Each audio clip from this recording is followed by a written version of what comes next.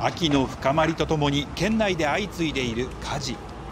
空気が乾燥するこれからの時期は特に注意が必要です。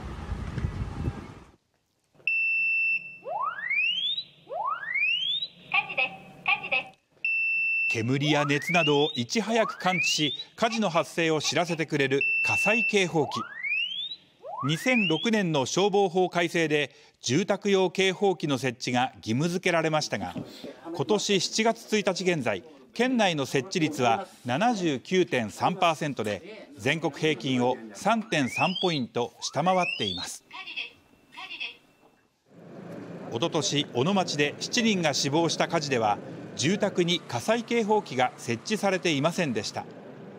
出火当時7人は就寝中や入浴中だったため警報器がついていれば命が助かった可能性もあったことからその後県内では火災警報器の設置を推進する取り組みが続けられてきました。それでも思うようには増えていません。一刻も早くつけていただいて安全に安心して暮らせる。皆さんの家庭を守っていただきたいと思います。設置が進まない背景にあるものとは？